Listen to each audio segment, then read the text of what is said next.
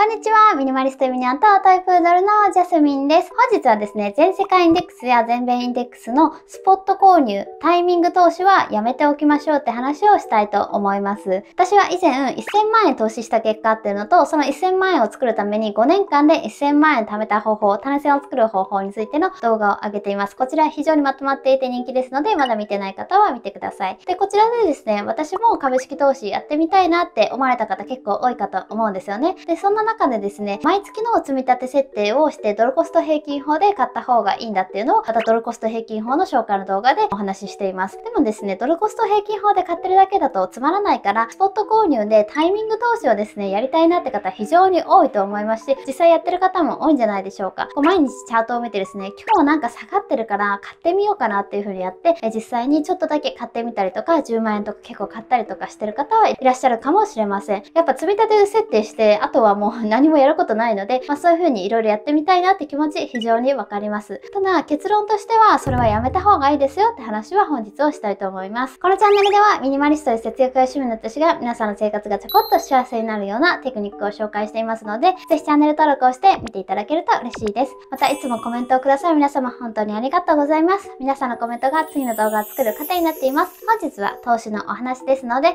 積み立て NISA 始めてよ、イデコやってるよ、特定講座でやってるよとかあれば、ぜひコメント欄で書き込んでもらえるとまだやっていない方の後押しが学べますので、ぜひお願いいたします。それでは本題行ってみましょう。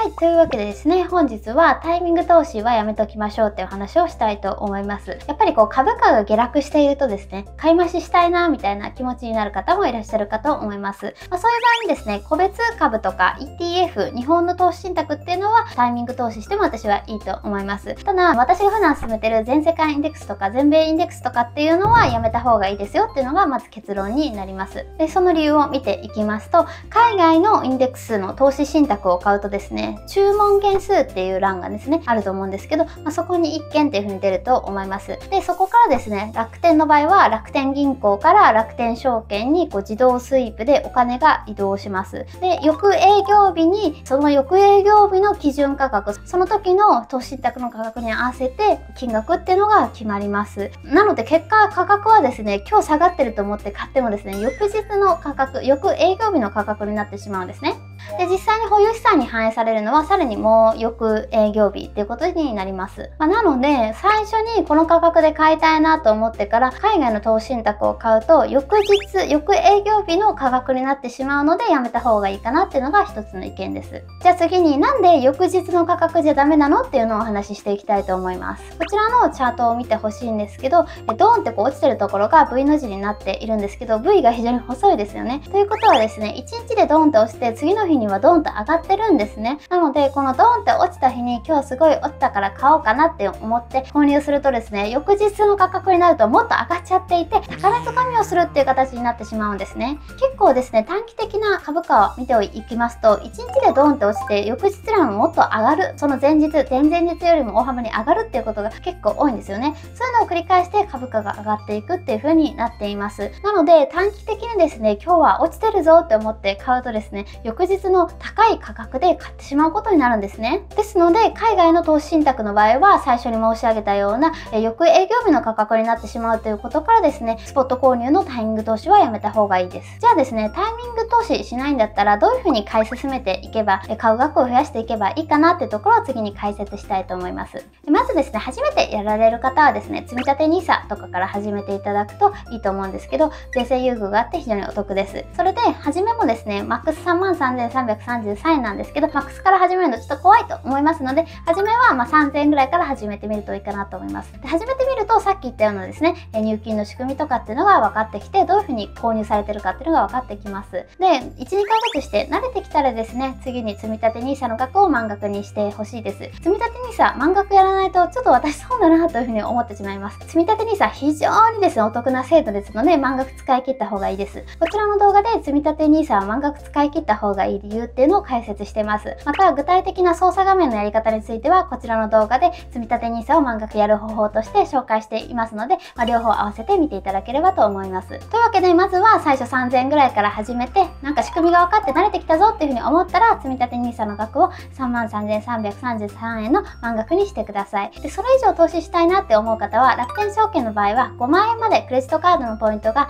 1%つきますので、残りの金額っていうのを特定口座で購入するののがおすすめです。5万円引く3万3333円なので、毎月1万6667円をですね、特定口座でプラスで買っていくとですね、クレジットカードの5万円っていうのをマックス使うことができます。これによって毎月5万円の1%、500円ゲットできるっていうので結構大きいので、これをまずやりましょう。で、毎月5万円の投資じゃ飽き足らない、もっとたくさんお金を入れたいという場合はですね、それ以上の金額はクレジットカードのポイントがつかないので、証券口座から直接購入するっていう形になります。なので、証券口座から購入する形で、特定口座で買い増しをしていくのがいいかなと思います。まあ、もしくは、長生きする自信があるよとか、自分の会社は退職金がないので、退職金代わりにイデコを使いたいなっていう場合はですね、イデコの口座を申請してですね、そちらで買っていくっていうのもいいかなと思います。ただ、イデコの場合は60歳まで引き出しができないっていう形で、かなり拘束が強いので、ちょっと全員にお勧めできないかなと思っておりますので、さっき言ったような退職金として代わりに使いたいとか、長生きする自信があるぞっていう方はですね、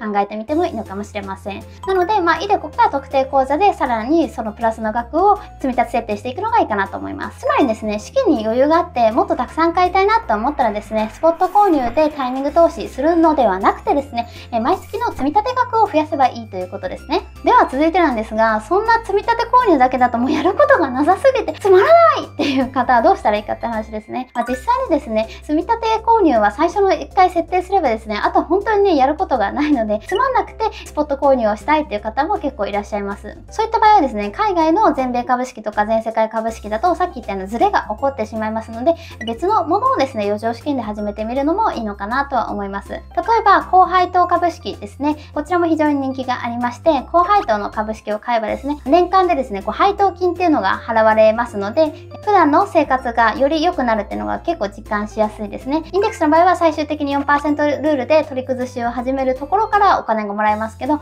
高配当株だったら高配当なので配当金が支払われるので、それで普段の生活が良くなるってところで、こちらも人気ですし、非常にいいと思います。なので、国内株式のポートフォリオ、どういうふうに銘柄を合わせるかという組み合わせの方法をですね、自分で考えられるよ、そこに挑戦してみたいよっていう方はですね、そちらを始めてみるとですね、いろいろ決算書を見て、いい高配当株を探したり、そして買うタイミングもですね、これは安い時に必ず買わなければいけないので、タイミング投資必要になってきますので、そのやりたいことっていうのは満たされるのかなと思います。ただですね、決算書とか読むのとか難しいからそういうんじゃないです みたいなのもあるかもしれないですよね。そういう場合はですね、まあ株をですね、いろいろやるっていうのは株が好きな人はやっぱそこまでやる必要があるんですけど、そうじゃない場合は私の場合はビジネス本とかやっぱ読んでですね、年収アップを目指したり副業をやっていく、ビジネススキルを上げていくっていう方が種銭が圧倒的に増えるんですよ。なのでそっちをやって積み立て投資の額を増やすっていうのがいいのかなと思います。やっぱですね、株はですね、どんな頑張ってももう平均で30年やって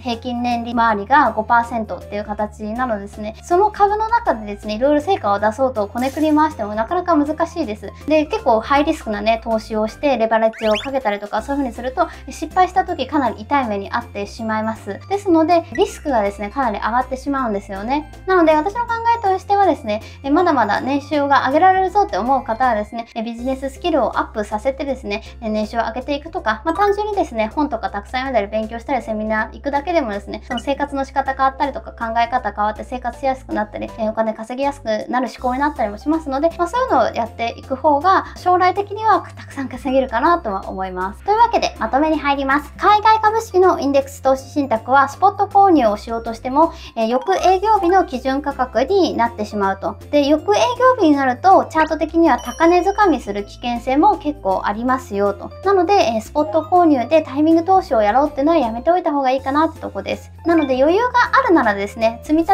額、毎月の積立額を増やすっていうのがおすすめです。それだけでつまんないよって方はですね、ぜひ国内の高配当株の勉強もしてみるといいかなとは思います。もしくはですね、ビジネススキルをアップさせて年収を上げたり副業したりする方が株より圧倒的に儲かりますので、まあ、そちらをやった方が私はいいかなと思います。というわけで本日の話は以上になります。まあ、改めてですね、私はドルコスト平均法だからやっっぱり良かったなとか、確かに余裕が出てきたから積立額を少し増やしてみようかなとか、いろいろ皆さん考えられたかなと思います。私としてはですね、皆さんがあまりリスクを掴んだりとか、心臓がドキドキするような投資方法をするんじゃなくてですね、まあ、心穏やかに毎日の生活がちょこっと幸せになるようなやり方っていうのを発信していきたいと思いますので、引き続き参考にしていただけたら嬉しいです。本日の動画は以上になります。この動画がいいなと思ったら、グッドボタンとチャンネル登録をお願いします。また、Twitter ブログもやっていますので、ぜひ概要欄からフォローしてください。それそれでは、バイバイ。